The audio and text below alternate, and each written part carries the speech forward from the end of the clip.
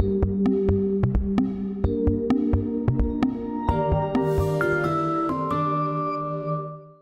would like to welcome you in this forum because this is the forum of the age of experience.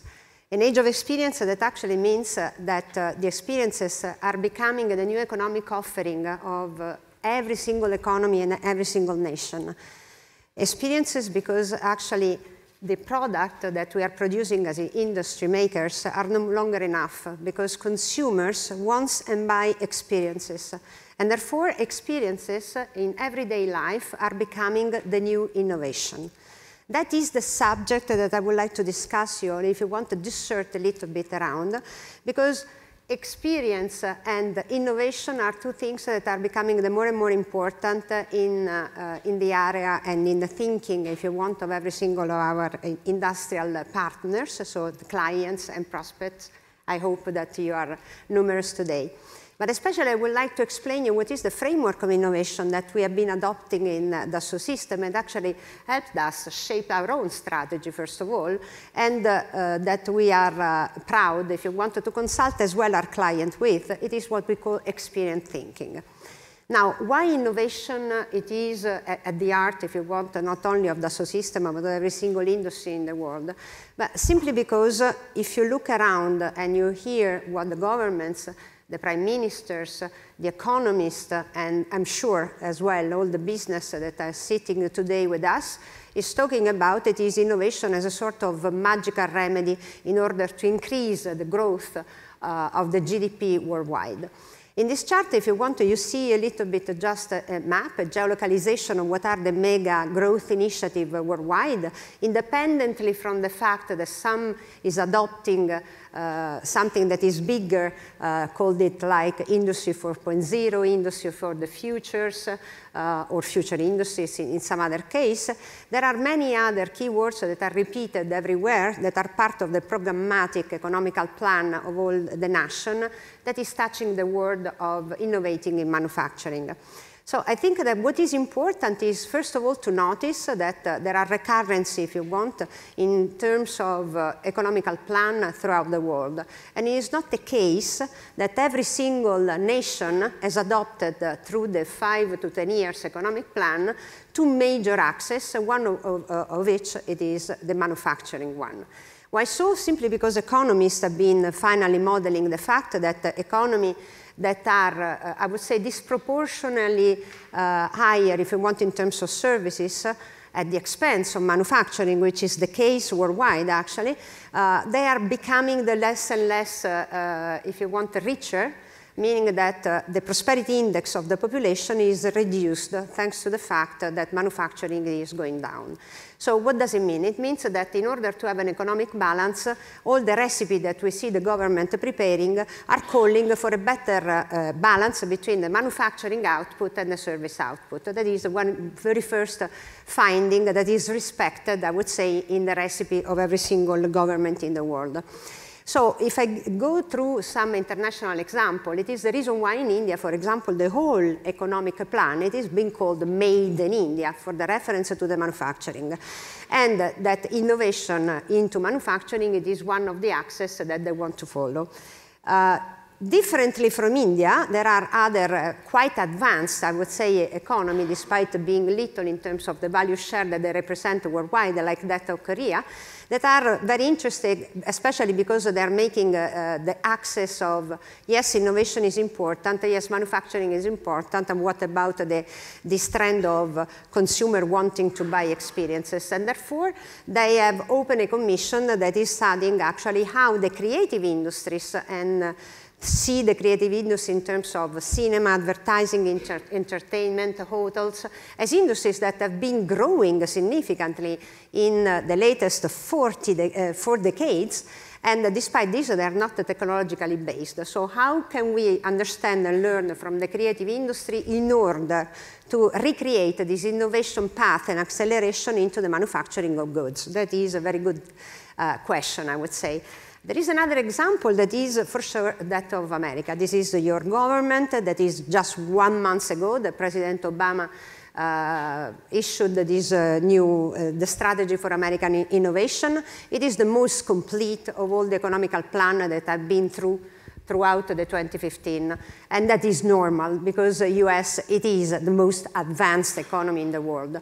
So I would have been surprised that something wasn't uh, uh, escaped, uh, I would say, to the US uh, committee.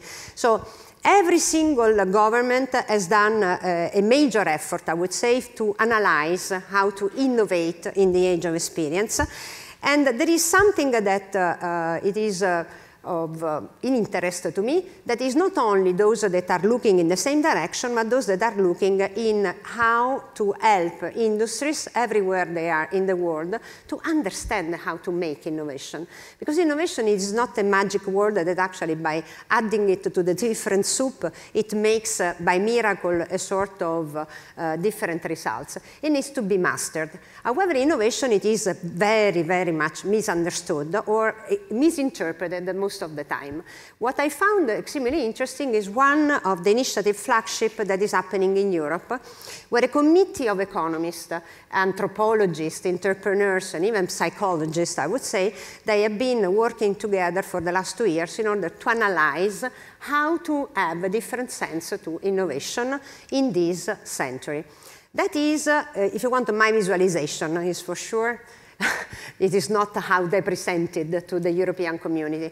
But it is my way to tell you in a nutshell what they are, what they are uh, if you want, uh, championing. First, it is uh, an evidence, the fact that technology-driven innovation has been the growth remedy since the Industrial Revolution, and that uh, little by little are becoming eroding, if you want, our economic output rather than helping it. Why so? Simply because technology advancement very soon it is, extreme, is easily copycat by everyone and therefore it is no more a differentiating factor for one economy versus another. And there is a second factor that technology-driven innovation most of the time are extremely expensive. And therefore, the sustainability of eco the economic effort that industry needs to do each time to have a leapfrog in terms of technology, it is no more economically viable.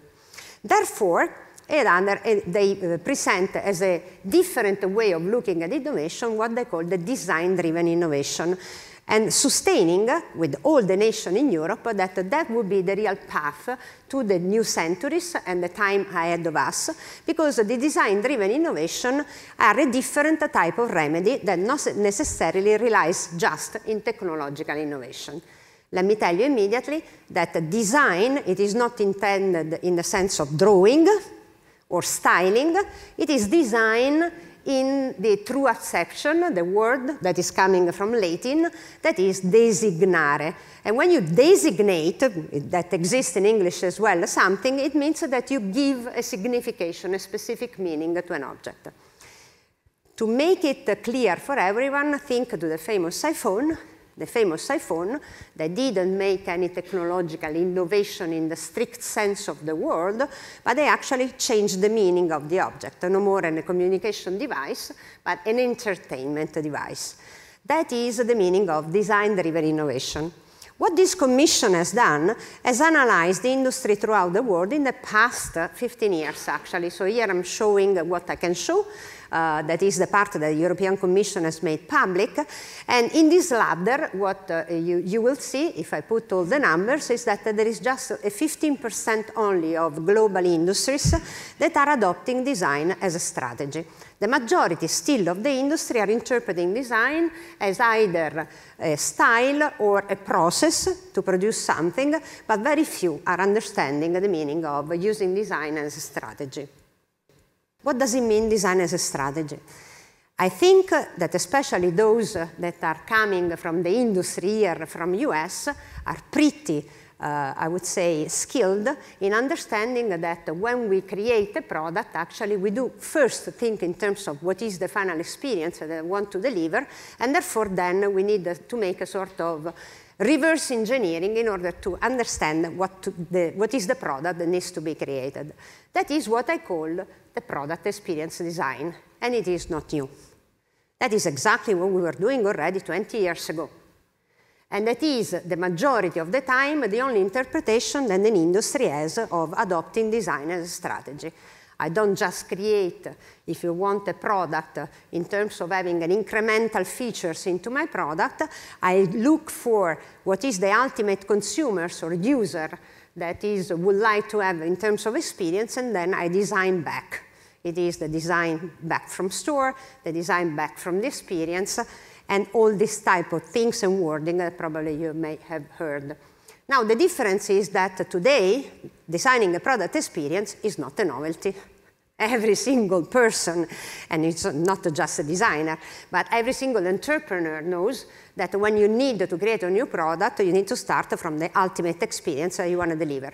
However, because the product is no longer enough to differentiate yourself and it is impossible to continue doing just super duper, I would say, technological breakthrough each time that we need to want to create, if you want a competitive advantage, something else or something needs, different needs to be done. And this is what I call the holistic experience. What do I mean by holistic experience? It means that our way of thinking in terms of innovation needs to pass from the usual flow that it is used, that is called the design thinking, into what I call the experience thinking. And experience thinking is much larger than just the product. That is all the meaning of the experience thinking. When you think in terms of experiences, you don't have just to think in terms of what is the next product that I'm going to offer into my portfolio. It is actually a matter of ensuring that every single piece, part, mix, if you want, of your element, of your recipe, it actually creates an experience that is differentiating your company from that of a competitor. Therefore, what we are looking at in this uh, simple visualization, it is something that actually touches all the major, if you want, uh, step of a consumer journey. As simple as that. So the product experience, when it relates to the whole consumer journey, it becomes an experience thinking, and it needs to be created in a way that actually embraces the whole rather than just one part. What do I mean by this? It means that the real innovation challenge doesn't lie anymore just in the product innovation, but this actually is the long and hard work that needs to be done by several disciplines in, in, a, in a company and not just by the officially, if you want, uh, assumed to do innovation that is, in the majority of the case, the R&D department, because innovation starts from ideas and ideas come from everywhere. The instantiation of the ideas through a consumer journey, including, if you want, the part of the product, is what can become the real recipe that is going to change the game of my company versus that of my competitor. So that is exactly what has happened, if you want, at Dassault Systèmes. Five years ago, we have adopted our own framework, if you want, just to experiment it by ourselves, because we do like to test before selling. And therefore, what we have done is that we applied our framework to, uh, to the uh, Dassault Systèmes, if you want, elements. And this is how we arrived, if you want, to rethink to our strategic target to the brand equity of Dassault Systèmes, moving from being a 3D PLM company into a 3D experience company, embracing much more than just the product development, but a place or a way and a methodology, if you want to innovate at every single level of the consumer journey for our client and for ourselves. That is the results of what we have done. By using the experience thinking, we have repositioned completely the way of doing, the way of thinking at Dassault Systèmes. Each of us has become, if you want, an innovator in the DNA, in the sense that each of us is capable of doing proposal, working in a collaborative way through our own product. So that is what has been done. We have recreated everything in the whole consumer journey. We have innovated at the level of the product as well, and not solely at the level of the product.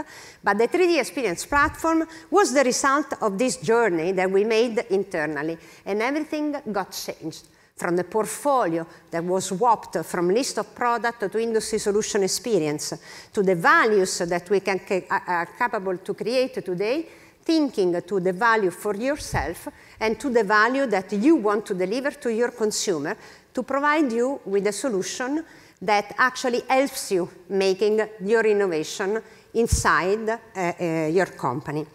So if I go through uh, the summary of what I'm doing uh, here is that I'm trying to explain that experience thinking is not just another, uh, I would say, buzzword, but it is a real methodology actually that gets instantiated through the 3D experience platform because that is the main purpose why we are doing this. We think, so we have idea, everyone has idea, but the moment is the difference between an idea and the moment that you know that this idea is sustainable and is actually creating a value for the ultimate consumer and it is economically viable needs to be tested, simulated, created, designed. So the difference between designing a product and designing an experience needs to have a home base which is different from a regular IT system. And that is what the 3D experience stands for. Thus, the solution is that the business innovation actually becomes just a result of this rather than being the first objective. I would like to conclude on the part of the experience thinking by telling you that uh, whatever we are doing, it is with this purpose in mind, and especially to a secondary purpose that is that of helping you going towards uh, your own journey coming from an idea of innovation that is basically only related to product, and therefore you have a lot of legacy system that actually has helped you throughout the life of your company doing this, into the new era that is the era of the experience uh, platform. And therefore, we are creating the major shortcut for all of you in order to arrive to this era. That is the novelty of the releases that we have done in 2015, where we have added uh, if you want what we call the power by, and this is an advertising license that I'm taking here to short it but it means powered by. And the power by capabilities actually are helping everyone actually not to throw away whatever you have, but actually using the 3D experience platform to browse and recuperate key data, key information, key models, and actually visualize it in the context of the 3D experience platform that provides numerous online services that are wanted to be collaborative, social, for the open innovation within your company and outside, which is the reason why the 3D Experience platform can help you whether you are using legacy systems that that of Dassault Systèmes, call it the CATIA V5 of the situation, of the SolidWorks of the situation, but as well that of competitors, because I love my competitors. So let me show you one short video to, to show you, to demonstrate you what are these capabilities.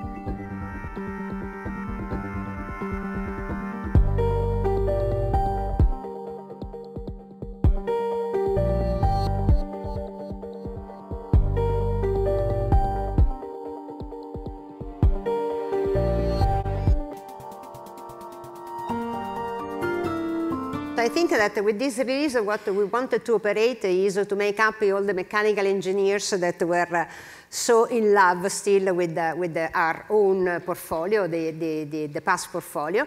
And, uh, but I'm working hard as well to make happy all the other engineers that are not mechanical engineers, but that are bioengineers, chemical engineers, and even marketers That is, if you want a, a screenshot, just to tell you that uh, throughout the acquisition that we have made in the past uh, one year and a half, actually two years, the portfolio of Dassault Systèmes is really complete today. I pretend to have the best portfolio that is on, on, on the planet, and especially uh, because all our acquisition actually and all the products of our acquired company that today are becoming the, the brands, it is uh, uh, immediately available to everyone, especially through the platform, thanks to the 3D, uh, to the power by capabilities. So you see how we have restructured the portfolio given uh, by the capabilities on, that we bought on manufacturing, especially in the operation management and in logistic and supply chain with the Apriso Quintiq. The Accelrys now Biovia that has been extremely important. Today we have announced that uh, three new solutions that you will see later on, especially in the uh, industry theater of, uh, of uh, life science.